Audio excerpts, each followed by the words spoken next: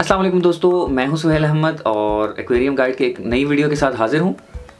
दोस्तों आज की वीडियो में मैं आपको बताऊँगा कि मेरी जो गपीज़ हैं जिनको मैंने तकरीबन दो हफ़्ते पहले अलग किया था आ, उनके तकरीबन कोई चार से पाँच बच्चे थे उस वक्त। तो आ, उसके बाद से लेके अब तक तकरीबन डेली के डेली तकरीबन चार से पाँच के दौरान बच्चे मैं उसमें से निकाल के ब्रीडिंग मेट में डाल देता हूँ।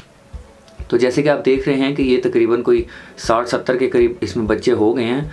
तो जैसे जैसे ये बड़े होते जाएँगे ये जिसमें ये बड़े बच्चे नज़र आ रहे हैं, ये हैं तकरीबन कोई दो हफ़्ते के और कुछ तीन हफ़्ते के हो गए।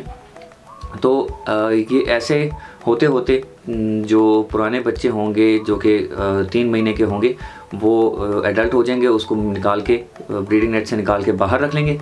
और जो ये नए बच्चे आते जाएँगे तो इसमें हम डालते जाएँगे।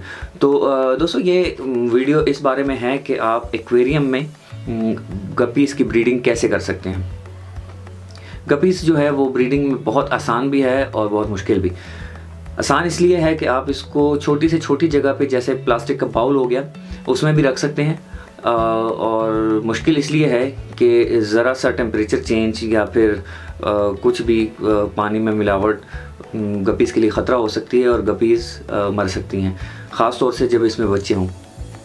दूसरी बात यह कि इसके लिए आपने थोड़ा सा ये हाइडिंग स्पेस भी बनानी है। जैसे कि आप देख रहे हैं, मैंने कुछ बोनसाई ट्री और ये कुछ आर्टिफिशियल प्लास्टिक प्लांट्स लगाए हुए हैं। तो इसमें यह होता है कि रात को अगर ये गपीस बच्चे दे भी दें और आप उसको तकरीबन 24 घंटे तक भी नहीं देखते तो बच्चों को कम से कम वो हाइडिंग स्पेस मिल जाती है और वो इन पौधों में छुप जाते हैं ताकि ये गपीज़ उनको खाएँ ना। गपीज़ वैसे भी अपने बच्चों को ज़्यादातर खाती नहीं है, लेकिन मेरे पास कुछ टाइप्स ऐसी हैं जैसे कि अल्बाइनो गपीज़ हो गई तो ये अपने बच्चों को खा लेती है। लेकिन जब इनके पास हाइडिंग स्पेस होगी तो ज़्यादातर बच्चे उसमें से सेफ़ हो जाते हैं। तो जैसे ही मैं सुबह उठता हूँ देखता हूँ तो जितने बच्चे उसमें होते हैं वो मैं निकाल के ब्रीडिंग नेट में डाल देता हूँ। इसी तरह अगर आप चाहते हैं कि घर पर इनकी गपीज़ की ब्रीडिंग करें तो आप एक्वेरियम में भी इनकी ब्रीडिंग कर सकते हैं जैसे कि ये मैं कर रहा हूँ।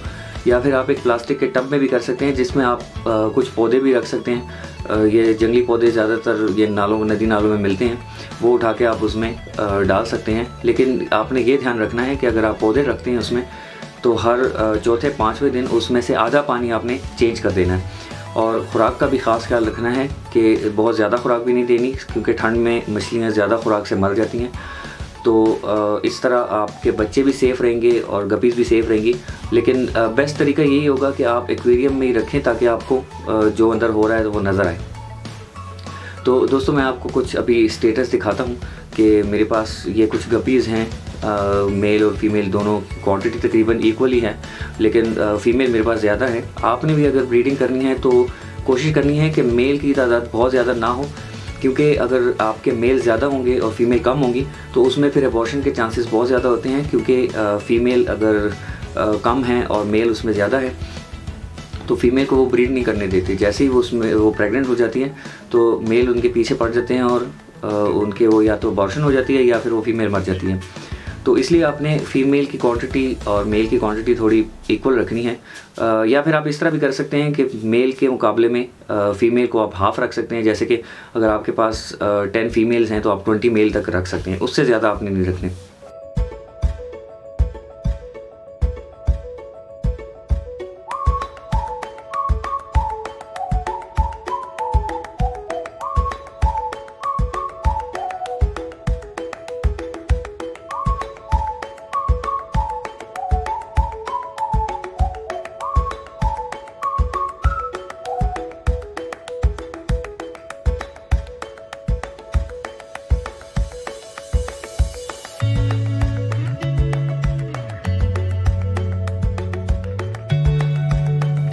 तो दोस्तों, जैसे कि आपने देखा कि गपीज़ मेरे पास काफ़ी क्वांटिटी में हो गई हैं और साथ ही साथ इनके बच्चे भी काफ़ी मकदार में बढ़ गए हैं। इसके साथ साथ मैं जो कि एक हफ़्ते और दो हफ़्ते के बच्चे होते हैं, उनको मैं निकाल के बाहर कर लेता हूँ क्योंकि वो काफ़ी बड़े हो चुके होते हैं और वो फिर इनके खाने के लायक नहीं होते।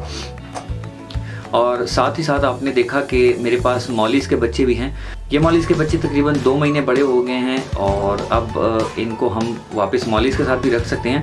लेकिन फ़िलहाल मैं इसको रहने दूँगा, तकरीबन तीन महीने तक मैं इसको इन बच्चों को इसी टैंक में रहने दूँगा। क्योंकि गपीज़ के साथ इनका तब तक कोई इशू नहीं होगा, जब तक कि ये बिल्कुल अडल्ट नहीं हो जाते। एडल्ट होने के बाद भी गपीज़ के साथ ये रह सकते हैं, लेकिन इनके बच्चों के साथ फिर ये नहीं रह सकते। तो अगर इनके बच्चे गपीज़ के बच्चे अगर इनसे बच भी जाएँ रात को तो वो मॉलिस का शिकार हो जाएँगे। इसीलिए ये तीन महीने की मॉलिस को मैं उठा के तो वापस मॉलिस के साथ डाल दूँगा। तो दोस्तों, ये थी हमारी आज की वीडियो। उम्मीद है आपको पसंद आई होगी। हमारे चैनल को सब्सक्राइब ज़रूर कीजिएगा ताकि हमारी हर आने वाली वीडियो आप तक पहुँच सके। Thank you